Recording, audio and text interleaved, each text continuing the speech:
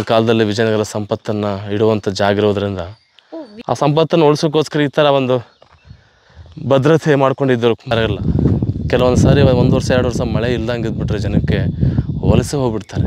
ಬೃಹದಾಕಾರವಾದಂಥ ಒಂದು ಸಾಲು ಮಂಟಪ ಅಂತಂದರೆ ನಮ್ಮ ಭಾಗದಲ್ಲಿ ಇದೆ, ನಿಮ್ಮ ಮೇಲೆ ಬೆಟ್ಟದ ಮೇಲೆ ಇರ್ತಕ್ಕದ್ದು ಇದು ಹಂಪಿಯಲ್ಲಿ ಬಜಾರ್ಗಳಿದಾವೆ ಆದರೆ ಅವೆಲ್ಲ ಚಿಕ್ಕ ಚಿಕ್ಕ ಬಜಾರ್ಗಳು. ಸೊ ಇಲ್ಲಿ ಆನೆಗಳನ್ನ ಇಡಿಸ್ತಾ ಇದ್ರು ಒಂಟೆಗಳು ಇಡ್ತಿದ್ರು ಕುದುರೆಗಳು ಇಡ್ತಿದ್ರು ಅಂತ ಹೇಳ್ತಿದ್ದಾರೆ ಶ್ರೀಕೃಷ್ಣದೇವರ ಕಾಲದಲ್ಲಿ ನೂರಾ ಒಂದು ಕೆರೆಗಳು ಕಡಿಸ್ತಾನಂತೆ.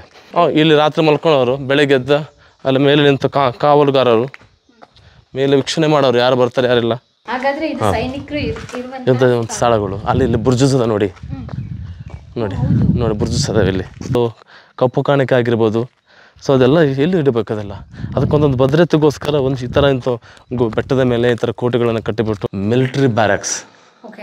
ಅಂದರೆ ಸೈನಿಕರು ಇಳ್ಕೊಳಕ್ಕೋಸ್ಕರ ಅವರಿಗೋಸ್ಕರ ಮಾಡಿದಂಥ ಒಂದಿದು. ಎಲ್ಲೋದ್ರೂ ನಾಗಜೀವತೆ ಸಂಪ, ಇದಿರುತ್ತೆ. ಸಿನ್ನೆ ಇರುತ್ತೆ. ಸೊ ಅದ್ರ ಒಳಗಡೆ ಏನೋ ಸಂಪತ್ತನ್ನು ಕಾಪಾಡುತ್ತೆ ಅನ್ನೋದು ಒಂದು ನಂಬಿಕೆ.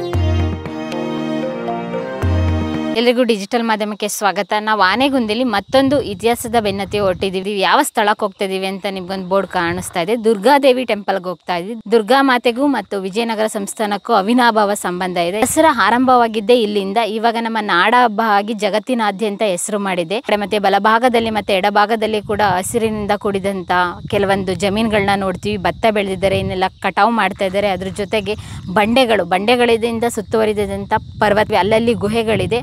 ಅದ್ರ ಮುಖಾಂತರ ಮುಂದೆ ಸಾಕ್ತಾ ಹೋದ್ರೆ ಫೈವ್ ಹಂಡ್ರೆಡ್ ಮೀಟರ್ ಮುಂದೆ ಬಂದ್ರೆ ನಮಗೆ ಇಲ್ಲಿ ಬೃಹದಾಕಾರದಾಗಿ ಬಂಡೆಗಳು ನೋಡ್ಬೋದು, ಕೋಟೆ ನೋಡ್ಬೋದು. ಕೋಟೆ ಮಾದರಿಯಲ್ಲಿ ಒಂದು ದೂರದಲ್ಲಿ ಒಂದು ನಿಮಗೆ ಗೋಪುರ ಥರ ಕಾಣಿಸ್ತಾ ಇದೆ. ಅದೇ ಆನೆ ಸಾಲು ಮತ್ತೆ ಒಂಟೆ ಸಾಲು. ಅಲ್ಲಿಗೆ ನಾನು ನಿಮ್ಮನ್ನ ಇವತ್ತು ಕರ್ಕೊಂಡು ಹೋಗ್ತಾ ಇದ್ದೀನಿ. ಬನ್ನಿ, ಆನೆ ಸಾಲು ಮತ್ತೆ ಒಂಟೆ ಸಾಲು ಅವಾಗಿನ ಕಾಲದಲ್ಲಿ ಅವಾಗಿನ ಕಾಲದಲ್ಲಿ ವಿಜಯನಗರ ಸಂಸ್ಥಾನ ಇದ್ದಾಗ ಏನಾಗಿತ್ತು ಅಂತ ಕುಮಾರಸ್ವಾಮಿ ಸರ್ ಹೇಳ್ತಾ ಹೋಗ್ತಾರೆ. ಸಾಲು ಮತ್ತೆ ಒಂಟೆ ಸಾಲಿನ ಉದ್ದೇಶ ಏನಾಗಿತ್ತು ಅಂತ ಈ ವಿಡಿಯೋದಲ್ಲಿ ತಿಳಿಸ್ತಾ ಹೋಗ್ತೀನಿ. ಸ್ಕಿಪ್ ಮಾಡ್ದಲೇ ಈ ವಿಡಿಯೋನ ನೋಡಿ ಆನೆ ಸಾಲು ಮತ್ತೆ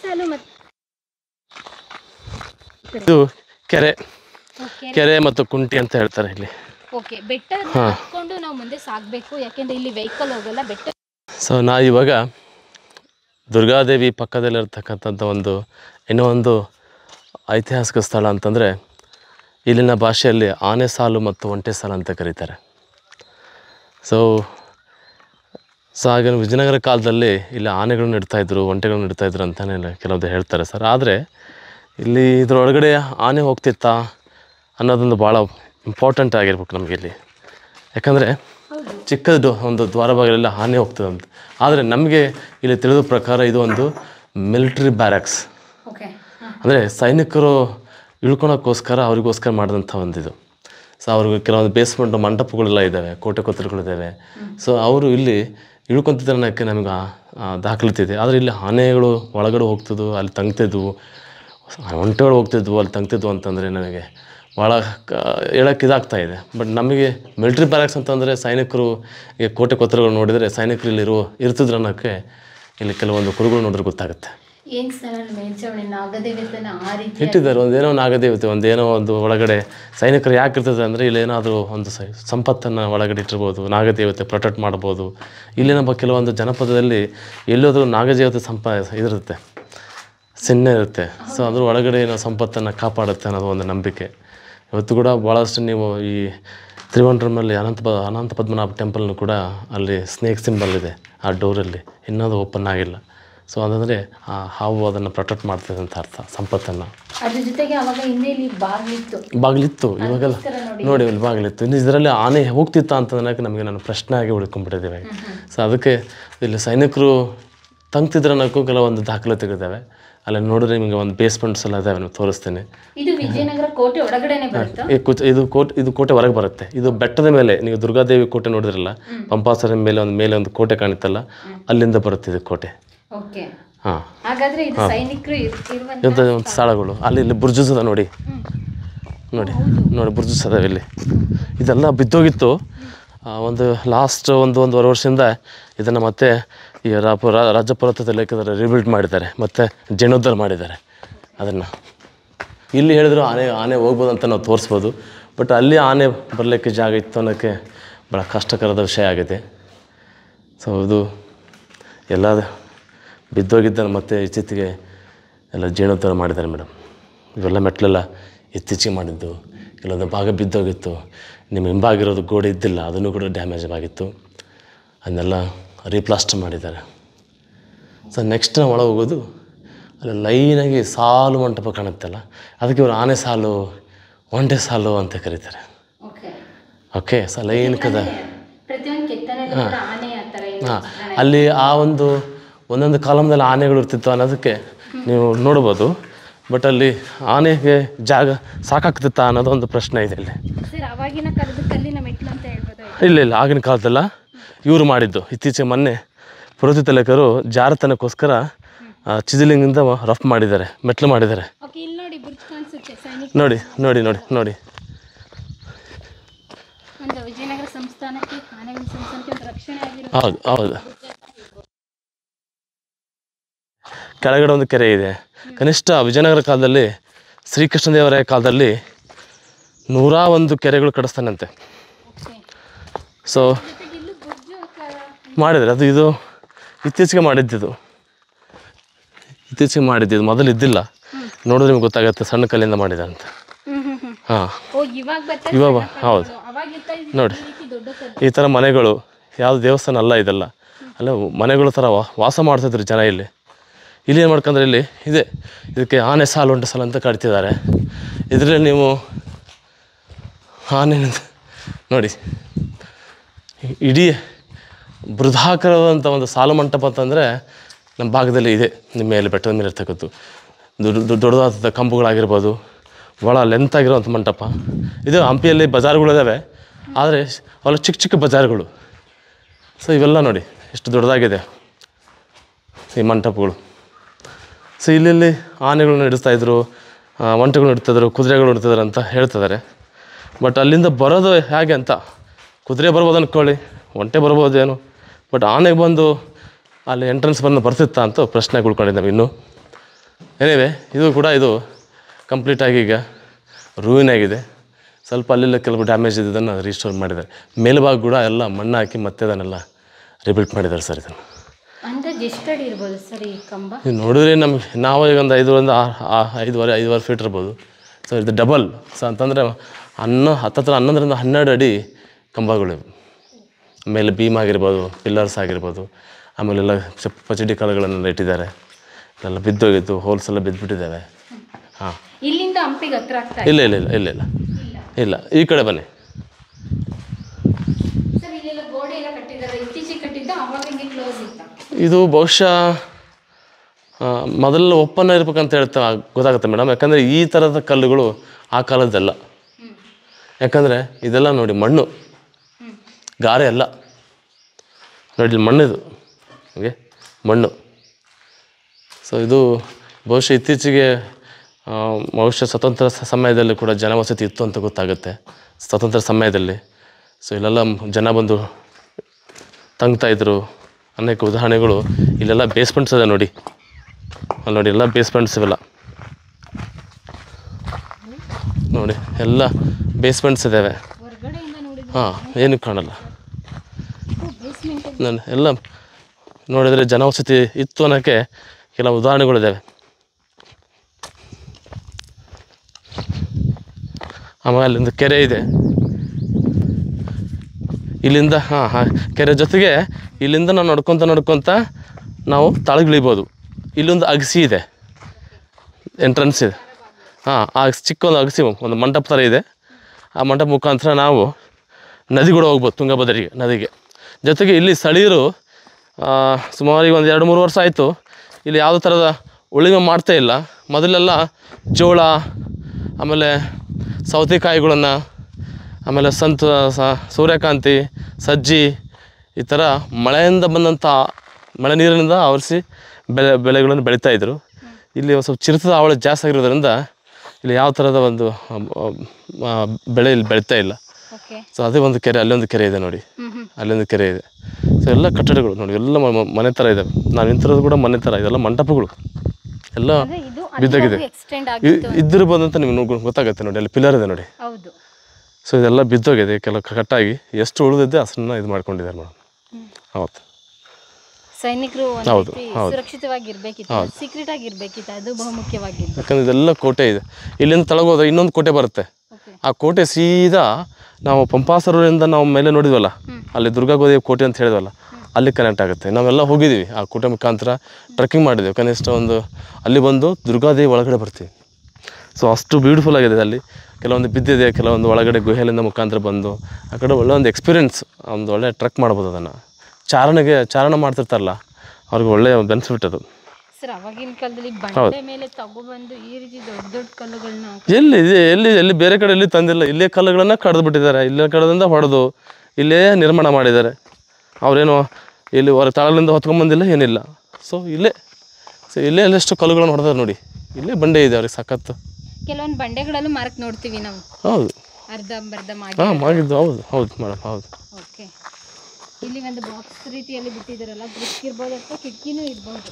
ಇರ್ಬೋದು. ಅಲ್ಲಿ ಮಾಡಿದ್ದಾರೆ ನೋಡಿ. ಆ ಥರ ಎಲ್ಲ ವಸತಿ ಎಲ್ಲ ಜನವಸತಿಗಳು ಇರುವಂಥ ಜಾಗ. ಈ ನೋಡಿ ನಾನು ಹೇಳಿದ್ನಲ್ಲ ಕಲ್ಲುಗಳು ಯಾರು ಹೊಡಿತಿದ್ರು ಎಲ್ಲ ಹಾಫ್ ಇದೆ ನೋಡಿ ಫುಲ್ ಇಲ್ಲ. ಸೊ ಕಲ್ಲು ಕ್ರ್ಯಾಕ್ ಆಗ್ತಿತ್ತು. ಬೆಂಕಿ ನೀರು ಅದೆಲ್ಲ ಕಟ್ಟಿಗೆ. ಎಕ್ಸ್ಪೆಂಡ್ ಆದಾಗೆಲ್ಲ ತನ್ನ ತಾನೇ ಅದು ಕ್ರ್ಯಾಕ್ ಹಾಕೊಂತ ಹೋಗ್ತಾ ಇರ್ತದೆ. ಅವಾಗ ಕೊಡ್ತಾ ಇದ್ರು. ನೋಡಿ ಇದು ಹಾಫ್ ಹೋಲ್ ಇದೆ. ಆಲ್ರೆಡಿ ಕಟ್ ಮಾಡಿದ್ದಾರೆ. ಅಲ್ಲಿ ಗೊತ್ತಾಗುತ್ತೆ ನೋಡಿ. ಹೌದು. ಸೈಡಲ್ಲಿ ಸೊ ಇವೆಲ್ಲ ಆಗಿನ ಕಾಲದಲ್ಲಿ ಟೆಕ್ನಾಲಜಿ ಇಲ್ಲವಲ್ಲ ಆ ಥರ ಬೆಂಕಿ ಹಾಕಿ ನೀರು ಹಾಕಿ ಕಟ್ಟಿಗೆನಲ್ಲಿ ಇಟ್ಕೊಂಡು ಅದೆಲ್ಲ ಎಕ್ಸ್ಪಾಂಡ್ ಆದ ತಕ್ಷಣ ಅದೆಲ್ಲ ಕ್ರ್ಯಾಕ್ ಆಗ್ತಿತ್ತು. ಹಾಂ ಹೌದು ಹೌದು. ಮೇಲಿಂದ ಮೆಟ್ಲು ಹೋಗ್ಬರ್ಬೋದು ಬನ್ನಿ. ಮೇಲೆ ಯಾವ ರೀತಿ ಚಾವಡಿ ಮಾಡಿದ್ರು? ಮೇಲೆ ಇಲ್ಲ ಮೇಲೆ ಹತ್ತಕ್ಕೆ ಒಂದು ಮಸ್ತು ವಸ್ತು ಒಳ್ಳೆ ಒಂದು ವ್ಯೂ ಕಾಣುತ್ತೆ. ಅಂದ್ರೆ ಸೈನಿಕರು ಇಟ್ಕೋಬೇಕಿತ್ತಲ್ಲ? ಹೌದು ಸರ ಹೌದು ಸರ್. ಹಾಂ ಇಲ್ಲಿ ರಾತ್ರಿ ಮಲ್ಕೊಳ್ಳೋರು ಬೆಳಗ್ಗೆ ಎದ್ದ ಅಲ್ಲಿ ಮೇಲೆ ನಿಂತು ಕಾ ಕಾವಲುಗಾರರು. ಮೇಲೆ ವೀಕ್ಷಣೆ ಮಾಡೋರು ಯಾರು ಬರ್ತಾರೆ ಯಾರಿಲ್ಲ. ಇಟ್ ಕುಡ್ ಬಿ ಇಲ್ಲಿ ಸಂಪತ್ತನ್ನು ಇರ್ಬೋದು.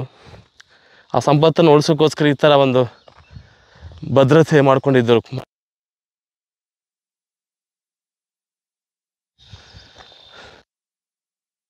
ನೋಡಿ ಯಾವ ಥರ ಇದೆ? ನಾವು ಈ ಕಡೆ ಬಂದಿದ್ರೆ ಅಲ್ಲಿ ಗಾಡಿ ಪಾರ್ಕ್ ಮಾಡ್ಕೊಂಡು ಹಿಂಗೆ ಬರ್ಬೇಕಿತ್ತು.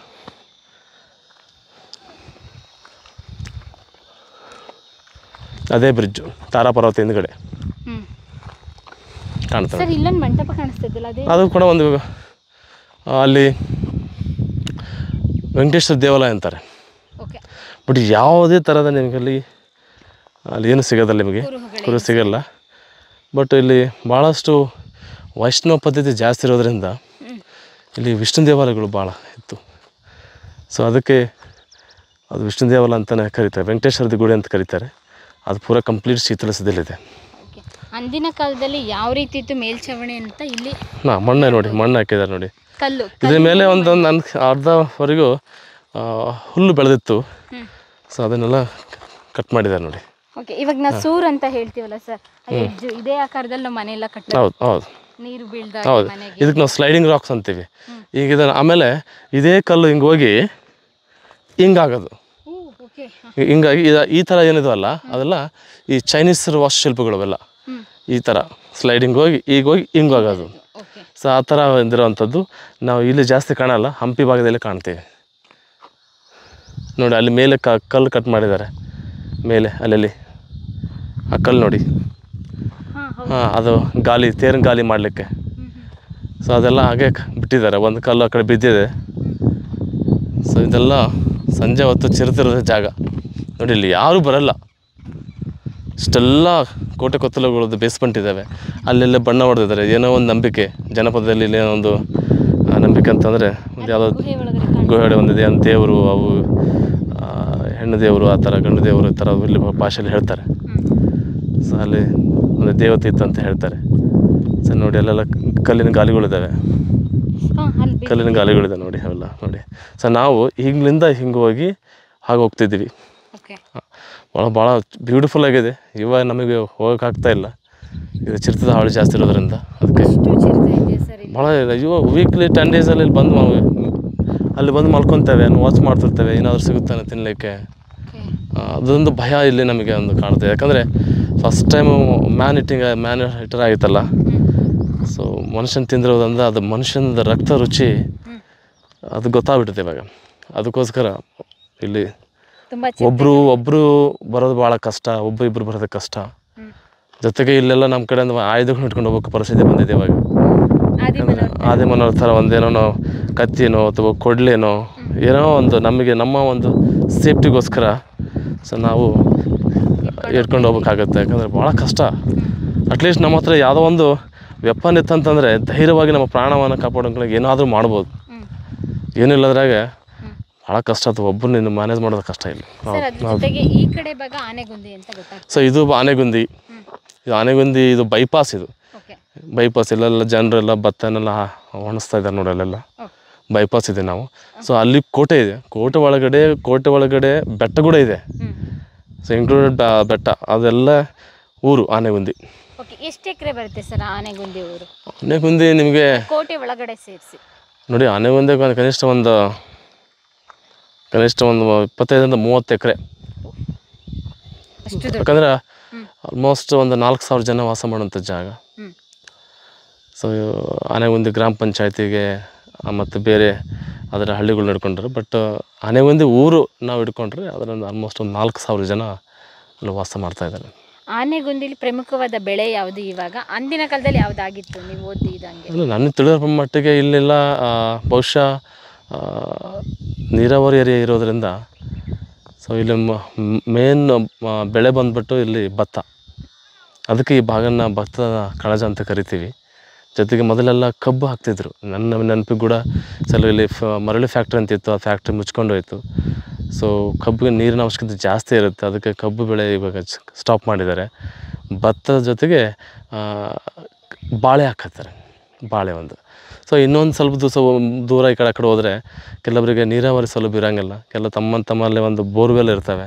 ಬೋರ್ ಮುಖಾಂತರ ಭತ್ತ ಬೆಳಿತಾರೆ. ಇಲ್ಲಾಂದರೆ ಅದನ್ನೂ ಇರಲ್ಲ ಸರ್ ನೀರು ಬೀಳೋ ಸಮಯದಲ್ಲಿ ಮಳೆ ನೀರನ್ನು ಆವರಿಸ್ಕೊಂಡು ಬೆಳೆಯುವಂಥದ್ದು ಬೆಳೆಗಳು ಇಲ್ಲಿದ್ದಾವೆ ಅವು ಶೇಂಗಾ ಆಗಿರ್ಬೋದು ಆಮೇಲೆ ಸೂರ್ಯಕಾಂತಿ ಆಗಿರ್ಬೋದು ಆಮೇಲೆ ಕಾರ್ನ್ ಸು ಅವೆಲ್ಲ ಬೆಳೀತಾರೆ. ಸೊ ಈ ಭಾಗದಿಂದ ಬ- ಜಾಸ್ತಿ ಇಲ್ಲಿ ಬೆಳೆದು ಭತ್ತ ಮತ್ತು ಬಾಳೆ. ಆವಾಗ ವಿಜಯನಗರ ಕಾಲದಲ್ಲಿ? ವಿಜಯನಗರದಲ್ಲಿ ಅದೇ ಭತ್ತನೇ. ಅವಾಗೂ? ಭತ್ತನೇ. ಇತ್ತು ಜಾಸ್ತಿ. ಅಫ್ಕೋರ್ಸ್ ಸಿ ಯಾವ ನೋಡಿ ಕಾಲ ಕಾಲಕ್ಕೆ ಮಳೆ ಬೆಳೆ ಆತಂತಂದ್ರೆ ಯಾರಿಗೂ ರೈತರಿಗೆ ಇದಾರಲ್ಲ ಕೆಲವೊಂದು ಸಾರಿ ಒಂದು ವರ್ಷ ಎರಡು ವರ್ಷ ಮಳೆ ಇಲ್ದಂಗೆ ಇದ್ಬಿಟ್ರೆ ಜನಕ್ಕೆ ವಲಸೆ ಹೋಗ್ಬಿಡ್ತಾರೆ. ಇವತ್ತು ಕೂಡ ಭಾಳಷ್ಟು ಜನ ವಲಸೆ ಹೋಗ್ತಿದ್ದಾರೆ ಇದೆಲ್ಲ ಏನು ಸಿಗುತ್ತೆ? ಜಮೀನಲ್ಲಿ ಒಂದು ಎಕರೆ ಎರಡು ಎಕರೆ ಇದ್ದರೆ ಭಾಳ ಕಷ್ಟ. ಮಳೆ ಬಂದರೆ ಬೆಳೆ ನೀರಿದ್ರೆ ಬೆಳೆಯೋದು. ಅದಕ್ಕಂತ ವಲಸೆ ಅಂತ ಹೋಗ್ಬಿಡ್ತಾರೆ ಜನ. ಸರ್ ಏನಾದ್ರೂ ಇಲ್ಲಿ ಒಂಟೆ ಆಗಿರ್ಬೋದು ಆನೆದು ಆ ಥರ ಯಾವುದು ಥರದ ನಮಗೆ ಇಲ್ಲಿ ಆನೆದು ಸಿಂಬಲ್ ಕೂಡ ನಿಮಗೆ ಕಾಣ್ತಾ ಇಲ್ಲ ಇಲ್ಲಿ. ಒಂಟೆದ ಸಿಂಬಲ್ ಕೂಡ ಕಾಣ್ತಾ ಇಲ್ಲ. ಯಾವುದೇ ಕಂಬದಲ್ಲಿ? ಕಂಬದಲ್ಲಿ ಇಲ್ಲ. ನೀವು ಪ್ರತಿಯೊಂದು ಕಂಬದಲ್ಲಿ ವೀಕ್ಷಣೆ ಮಾಡಿ ಪ್ಲೇನ್ ಇರೋ ಇರೋ ಕಂಬಗಳು ಇವೆಲ್ಲ. ಯಾವ ಥರದ ನೀವು ಉಪಚಿತ್ರಗಳು ಚಿತ್ರಗಳು ನಿಮ್ಗೆ ಕಾಣಲ್ಲ.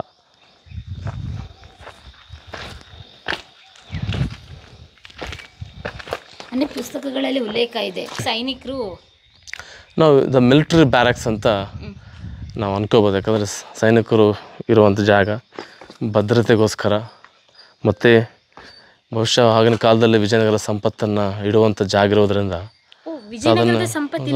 ಅಂತ ಅಂತ ಹೇಳ್ತಾರೆ. ಹೇಳ್ತಾರೆ. ಯಾಕಂದರೆ ನನಗೆ ದುರ್ಗಾದೇವಿ ಬೆಟ್ಟದ ಹಿಂದ್ಗಡೆ ನಿಮ್ಗೆ ಕರ್ಕೊಂಡು ಹೋಗ್ತೇನೆ. ಅಲ್ಲಿ ಕರ್ಕೊಂಡು ಹೋಗ್ತೇನೆ ನಿಮ್ಗೆ ಗೊತ್ತಾಗತ್ತೆ. ಎಂಥ ಬ್ಯೂಟಿಫುಲ್ ಆಗಿ ಒಂದು ಕೋಟೆನ ಕಟ್ಟಿದ್ದಾರೆ. ಅದಕ್ಕೆ ಗಟ್ಟಿ ಕೋಟೆ ಅಂತ ಕರೀತಾರೆ. ಅಲ್ಲಿ ಹೇಳ್ತೇನೆ. ಸರ್ ಇಡೀ ವಿಶ್ವಕ್ಕೆ ಗೊತ್ತು ವಿಜಯನಗರ ಸಾಮ್ರಾಜ್ಯದಲ್ಲಿ ಎಷ್ಟು ಚಿನ್ನ ಆಗಿರ್ಬೋದು ಬೆಳ್ಳಿ ಆಗಿರ್ಬೋದು ವಜ್ರ ಬಂಗಾರಗಳನ್ನ ಇಟ್ಕೊಂಡು ಮಾಡ್ತಾ ಇದ್ರು ನಾ ತರಕಾರಿ ಹೆಂಗೆ ಯಾಕಂದರೆ ಸಂಪತ್ತನ್ನು ಕಾಪಾಡಲಿಕ್ಕೆ ಸೇಫೆಸ್ಟ್ ಪ್ಲೇಸ್ ನಮ್ಮ ಭಾಗ ಗುಡ್ಗಾಡು ಪ್ರದೇಶ. ಸೊ ಅದಕ್ಕೆ ಈ ಥರ ಒಂದು ನೋಡಿ ಆ ಬಾಗಿಲಲ್ಲಿ ನೋಡಿ ಒಂದು ಹತ್ರ ಎರಡಲ್ಲ ಎರ- ಅಲ್ಲಿಂದ ಎರಡು ಎರಡು ಬಾಗಿಲಿದ್ದಾವೆ ಸೊ ಮೇಲೆ ಅಲ್ಲೆಲ್ಲ ಕೋಟೆ ಇದೆ ಬುರ್ಜುಗಳಿದ್ದಾವೆ ಒಂದು ಮಿನಿಸ್ ಬರಲಿಕ್ಕೆ ಭಾಳ ಕಷ್ಟ.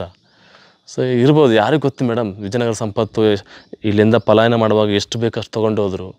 ಉಳಿದ ಸಂಪತ್ತು ಎಲ್ಲೂ ಇತ್ತು. ಏನು ಈ ಥರ ಮಾಡಿ ಇಡ್ತಾ ಇದ್ರ? ಹೌದು ಅವಾಗೆಲ್ಲ ಇವಾಗೆಲ್ಲ ಅಫ್ಕೋರ್ಸ್ ಅವಾಗೆಲ್ಲ ಒಳಗಡೆ ಇಡ್ತಾ ಇದ್ರು ಭದ್ರತೆ ಸೈನಿಕರ ಭದ್ರತೆ ಇರ್ತಿತ್ತು ಅವಾಗೆಲ್ಲ. ಈಗೆಲ್ಲ ಈಗ ಸಿ ಐದು ಆರುನೂರು ವರ್ಷ ಯಾವುದೂ ಇಲ್ಲ. ಬಟ್ ಗೊತ್ತಿಲ್ಲ ಈಗ ವಿಜಯನಗರ ಸಂಪತ್ತು ಇಲ್ಲಿದೆ ಅಂತ ಹೇಳ್ತಾರೆ ಇದುವರೆಗೂ ಯಾರಿಗೂ ಗೊತ್ತಿಲ್ಲ. ಒಂದು ವೇಳೆ ಏನಾದರೂ ಉತ್ಖನನ ಮಾಡಿದಾಗ ಸಿಕ್ಕರೆ ಸಿಗ್ಬೋದು ಅಂತ ಅಷ್ಟೇ. ಹ್ಞೂ ಜೊತೆಗೆ ಬುರ್ಜ್ ಕೂಡ ನೋಡ್ತೀವಿ. ಹಾಂ. ಇವ ಇತ್ತೀಚೆಗೆ ಕಟ್ಟಿರೋದು ಮೇಲ್ಗಡೆ ಅನ್ನಿಸ್ತಾ ಅದು ಇದು ಕಂಪ್ಲೀಟಾಗಿ ಇದು ರೀಸೆಂಟಾಗಿ ಅದನ್ನ ಜೀರ್ಣೋದ್ಧಾರ ಮಾಡಿದ್ದಾರೆ. ಅದೆಲ್ಲ ಬಿದ್ದೋಗಿತ್ತು. ಅದ್ರಾಗೆಲ್ಲ ಒಂದು ಅರ್ಧ ಭಾಗ ಬಿದ್ದಿತ್ತು ಅದನ್ನು ಬಿಡಂಗಿತ್ತು ಅದನ್ನೆಲ್ಲ ಕಂಪ್ಲೀಟ್ ಅಂತ ತೆಗೆದ್ಬಿಟ್ಟು ಮತ್ತೆ ಅದನ್ನ ಜೀರ್ಣೋದ್ಧಾರ ಮಾಡಿದ್ದಾರೆ. ರಾಜ್ಯದಾಗಿರ್ಬೋದು ಒಂದು ಸಂಸ್ಥಾನದ ಸಂರಕ್ಷಣೆ ಆಗ್ಬೇಕು ಅಂತ ಹೇಳಿದ್ರೆ ಸಂಪತ್ತು ಬಹಳ ಮುಖ್ಯವಾಗಿ ಸಂಪತ್ತನ್ನು ಕಾಪಾಡೋದು ಹೌದು. ಅತಿವೃಷ್ಟಿ ಆಗುತ್ತೋ ಅನಾವೃಷ್ಟಿ ಆಗುತ್ತೋ ಗೆದ್ಕೊಂತ ಗೆದ್ಕೊಂತ ಅಪ್ ಟು ದಕ್ಷಿಣ ಭಾರತನ ತಮ್ಮ ಕಪಿ ಮುಚ್ಚಲ್ಲಿ ಇಟ್ಕೊಂತಾರೆ ಕೃಷ್ಣದೇವರಾಯರು. ಸೊ ಆಗಿರುವಾಗ ಅದಂತ ಬಂದಂತ ಅದು ಕಪ್ಪು ಕಾಣಿಕೆ ಆಗಿರ್ಬೋದು. ಸೊ ಅದೆಲ್ಲ ಎಲ್ಲಿ ಇಡಬೇಕು ಅದೆಲ್ಲ? ಅದಕ್ಕೊಂದೊಂದು ಭದ್ರತೆಗೋಸ್ಕರ ಒಂದು ಈ ಥರ ಇಂಥ ಬೆಟ್ಟದ ಮೇಲೆ ಈ ಥರ ಕೋಟೆಗಳನ್ನು ಕಟ್ಟಿಬಿಟ್ಟು ಅದಕ್ಕೆ ಭದ್ರತೆ ಕೊಟ್ಟು ಕಾಪಾಡ ಕಾಪಾ ಕಾಪಾಡಿರ್ಬೋದು.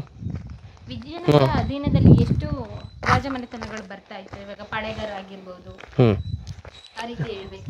ಸೊ ವಿಜಯನಗರ ಕಾಲದಲ್ಲಿ ಅದೇ ನಾಲ್ಕು ವಂಶಸ್ಥರು ಬರ್ತಾರಲ್ಲ. ಸಂಗಮ ವಂಶಸ್ಥರು ಸಾಳ ಹ್ಞೂ ಹ್ಞೂ ಹಾಂ ಈಗ ವಿಜಯನಗರ ಶ್ರೀ ಶ್ರಾಮಂತ ಅರಸರುಗಳಂತಂದರೆ ಪಾಳೆಗಾರರು. ಈಗ ಕನಗಿರಿ ಪಾಳೆಗಾರ ಆಗಿರ್ಬೋದು ಓಕೆ? ಆಮೇಲೆ ಶಿವಪುರದ ಉಡ್ ಉಡ್ಚಪ್ಪ ನಾಯಕರ ಕಮ್ಯುನಿಟಿ ಆಗಿರ್ಬೋದು. ಮದಿಕೆರೆ ನಾಯಕ ಚಿತ್ರದುರ್ಗರಾಗಿರ್ಬೋದು ಆಮೇಲೆ ರಜಪೂತ್ರ ಅಂತ ಬರ್ತಾರೆ.